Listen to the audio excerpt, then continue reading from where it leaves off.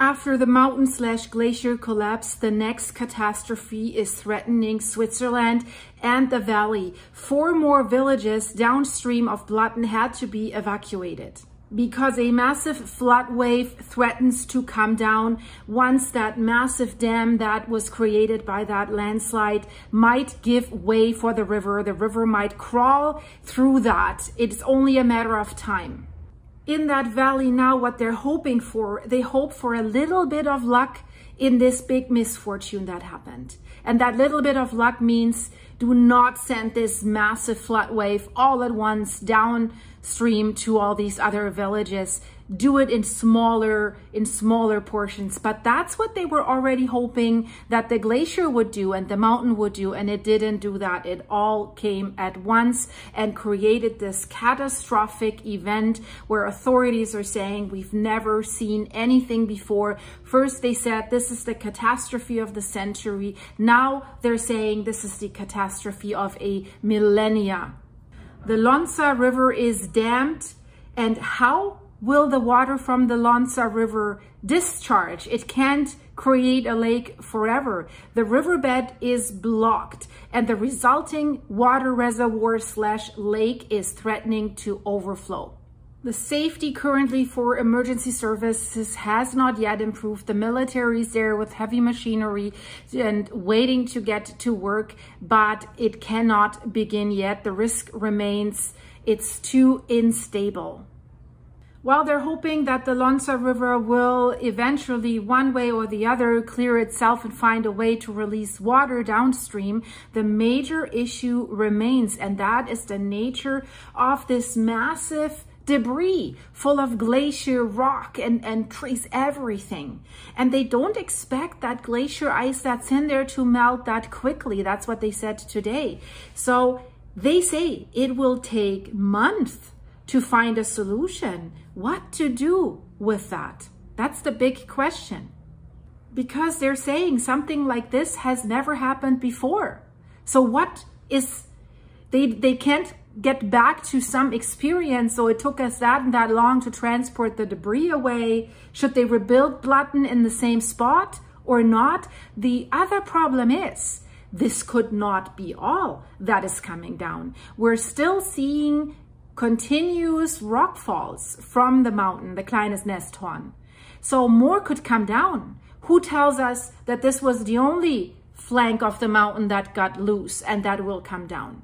There could be way more that's coming down. And now from the other side of the valley, we have debris coming down because it was so massive how everything was even pushed on the other side of the hill, like an explosion.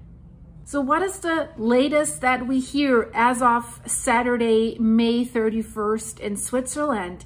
So the Swiss disaster area there, the dammed waters of the Lonza River are initially flowing in an orderly manner.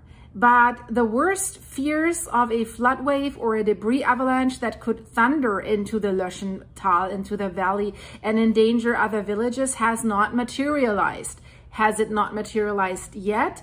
Or will it not materialize? For the time being, it hasn't. So the officials are getting slightly optimistic. They're saying we don't expect anything more serious. That's what Christian Studer, the head of the National Hazards Unit, said at a press conference. But he also said, however, risks remain. Nature is kind of unpredictable. What they're seeing right now, if they look and I'll, uh, you see it in the pictures very soon. If you look at this debris, all this rocks, this dam that has been formed by that rock slide slash glacier slide. There's a first channel emerging where it looks like the Lonza River is carving its way through it and the course of the water how it looks right now has given them optimism that the water is finding a good path. They have drone footage that shows like a trickle of water on this two kilometer, 1.4 mile long alluvial uh, monstrosity. And water is also flowing further down the Lonza riverbed. So this indicates that water is also seeping through the two kilometer long dam. It's underneath. Water always finds its way. So because of that, they think that the immediate danger has decreased. There's experts that are flying repeatedly over the disaster area at an altitude of around 1500 meters, like a mile. Um, and they say we don't see immediate danger to the villages further down the valley. That's a good thing. Will that remain like this? It remains to be seen. This is really unpredictable how this dam will behave with all the glacier ice in there, the rocks and other debris. And they're also saying that. They say it's difficult to assess how unstable debris, how that unstable dam is changing because it can change in a minute. There's about 9 million cubic meters of material on the valley floor. One third is likely coming from the Birch glacier, so it's ice. But he doesn't expect the material to melt very quickly. So if it melts, it creates more instability because then there's room gone, right? And and the other rocks and debris will will fall further down. Will that lead to more sliding down the river? That's the big question. But the experts, they're making it clear today, they see greater danger from further collapses on the mountain, the Kleine, Kleines Nesthorn, at over 3,000 meters. So coming down from a height of 3,000 meters and basically the same that has triggered the current disaster. The situation there up on the mountain, they're making it clear, remains unpredictable. The terrain is very steep. That is increasing the risk of further debris avalanches. Precipitation is also a concern for the experts. It rains a lot there in the summer. So severe weather is in the forecast for this area starting today. So that's a bad thing. One thing is clear, the entire village of Blatten is wiped out right now authorities are saying it's wiped out from the map because on Wednesday, after days of rock falls at an altitude of approximately 3,000 meters, the Birch Glacier below broke off because the weight was getting too heavy. All the rocks were landing on the glacier. And then gigantic amounts of rock and debris were plunging into the valley below and it has completely blocked that Lonza riverbed. And the village of Blatten, approximately 300 inhabitants, was almost completely buried initially under the debris. The rest of the homes was then flooded by the river. And thankfully, thankfully, the residents had already been evacuated to safety last week. But one resident who was in the disaster area on Wednesday is still missing, a 64-year-old man what the Swiss president Karin Keller-Sutter said after a helicopter flight over the disaster area. She said it's incomprehensible that an entire village is wiped out. And she assured the residents of extensive support and the government and the authorities and all the rescue teams have made a great job. For two villages, communities further down the stream, the community of Gampel and Steg. They're located on the Lonza River about 20 kilometers below Blatten. First, they had issues evacuation orders, but now the situation has improved. But authorities are making it clear, nevertheless, the risk remains, even if it seems to be decreasing for these two communities right now. The residents were still urged to pack everything overnight, the bare essentials, in case that they would receive the evacuation order. And this would be necessary if a flood wave or debris avalanche from the disaster area were to roll down the valley. And it's so sad what the residents are saying. It's as if all the history of Blatten is erased. And between Blatten and these communities of Gampel, and that is interesting, lies a dam, a real dam, not the landslide dam. It's, it's called the Dam of Ferden. It's a dam and a retention basin. So they released water from the retention basin in the hope that the basin would be sufficient to hold the water if large volumes of water would drain quickly from the landslide area. Blatten's mayor, Matthias Bellwald, speaks of fateful days. He says the history of Blatten has been erased, However, the memories are still carried in the minds and the hearts of the residents. The people of Blatten, however, are looking resolutely to the future. We can no longer rebuild the old Blatten, but we want to rebuild Blatten. That's what he said. Where? It's impossible to say yet. The cleanup work is still too dangerous. The residents and the authorities are forced to wait and see. There is no way to direct the, the flow of the accumulated water, for example, by cutting a channel through the pile of rubble. The terrain is way too far unstable for that and people and machinery could collapse. So nobody can get on that. But the army is ready to begin clearing operation as soon as the situation will permit. And maybe, maybe initial operations on the outskirts of this disaster area may be possible soon. The problem is also that water reservoir, that lake that has formed right now, contains also a lot of debris from the flooded and destroyed houses, logs, trees were raised down with the landslide. So they want to build a driftwood retention area to prevent the outflow from becoming blocked again, especially if the outflow through that landslide area becomes a little larger.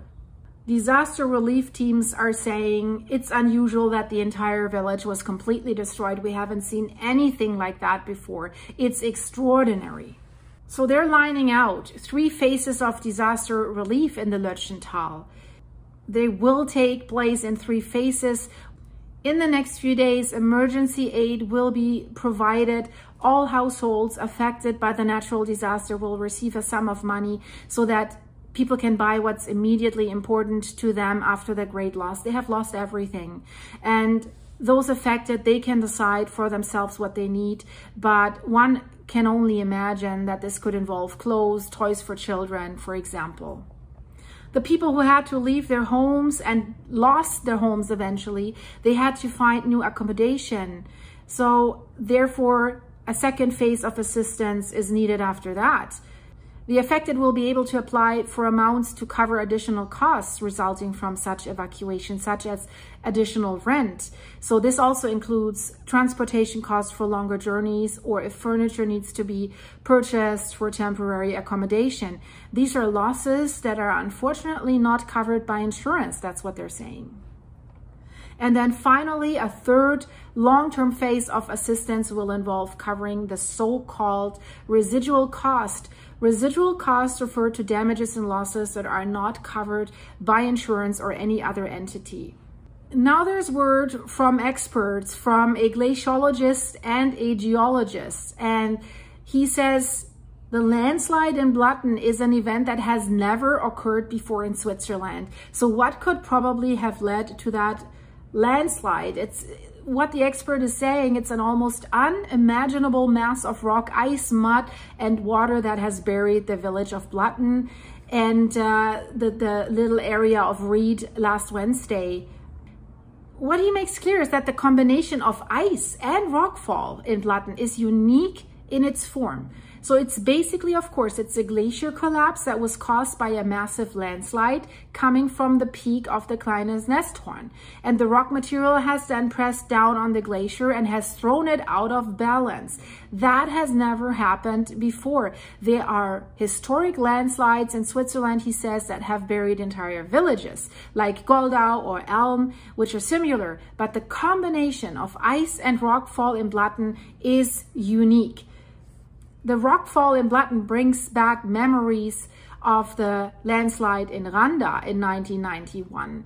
But a professor of glaciology, another one at the ETH Zurich, he points to the unique nature of that Blatten crash, how you can call it.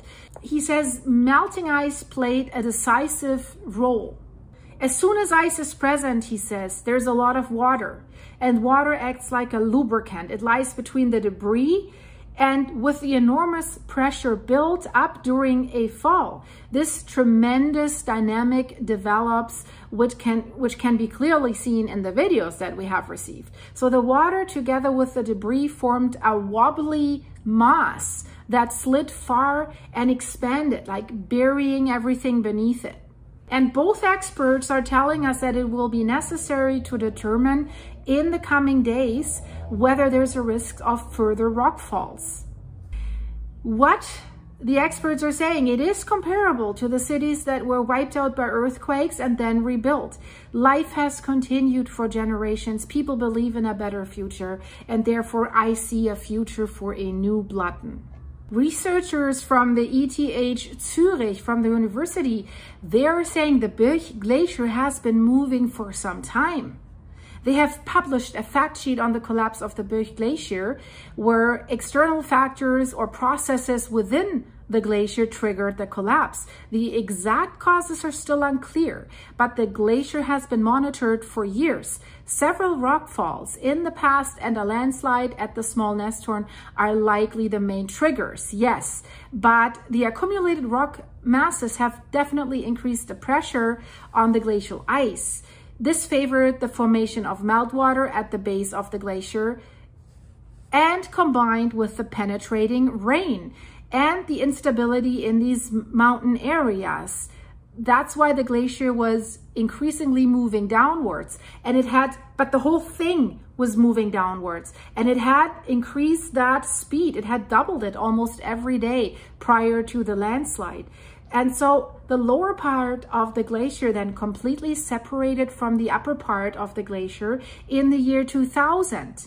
So the glacier front of the lower Birch Glacier part had advanced approximately 50 meters by 2019. So the glacier collapse near Blatten bears certain parallels to the rock slide on Pizzo Cengalo in 2017. In that event, approximately 3 million cubic meters of rock crashed onto a glacier, partially sweeping it away, and it has triggered a debris flow.